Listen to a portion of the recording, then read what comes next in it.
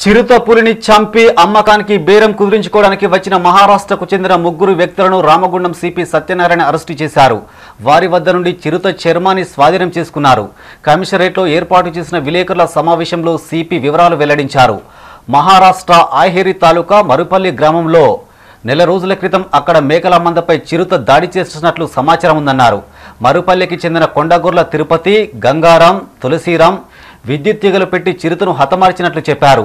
దాని చర్మాన్ని తీసుకుని చెన్నూరు మండలం కోటపల్లికి అమ్మడానికి వస్తున్నారని రామగుండం టాస్క్ ఫోర్స్ పోలీసులకు పక్కా సమాచారం అందిందన్నారు. వారి వద్దనున్న సంచిని పరిశీలించగా చిరుత చర్మం లభించినట్లు చెప్పారు. వన్యప్రాణులను వేటాడితే కఠిన చర్యలు తీసుకుంటామని సిపి హెచ్చరించారు. పంట పొలాలు నాశనం చేస్తున్నాయని పంట పొలాలకు విద్యుత్ తీగలు అమరుస్తున్న వేటగాళ్ళు మూడు వందల యాభై మంది రైతులపై బైండోవర్ కేసులు నమోదు చేసినట్లు వెల్లడించారు. అంతకితం కూడా మహారాష్ట్రలో ఈ వన్యప్రాణి సంబంధించిన వేటాడే ఈ పందుల్ని అడవి పందుల్ని వేటాడామని చెప్తున్నారు. బట్ వాళ్ళ పోలీసులు అక్కడ ఉన్న అటవీ శాఖ రికార్డ్స్ని కూడా తెప్పించుకోవడం జరుగుతుంది. వాళ్ళని ఈరోజు రిమాండ్ పంపించి అటవీ శాఖ వాళ్ళు కూడా మంచిర్యాల అటవీ శాఖ వాళ్ళకి వాళ్ళకి అప్పచెప్పడం.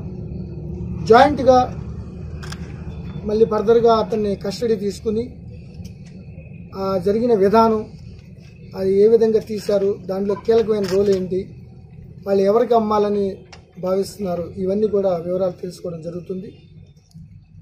ఎప్పుడైతే గత సంవత్సరం క్రితం జైపూర్ మండల్ శివారం గ్రామంలో ఒక పన్నెండు పదమూడు అడుగులున్న రాయల్ బెంగాల్ టైగర్ని వాళ్ళు జిఐ వైర్ ద్వారా చంపి విద్యుత్ షాక్ ద్వారా చర్మాన్ని మందమరిలో బేరం పెట్టినప్పుడు సుమారు ఇరవై మందిని పట్టుకోవడం జరిగింది.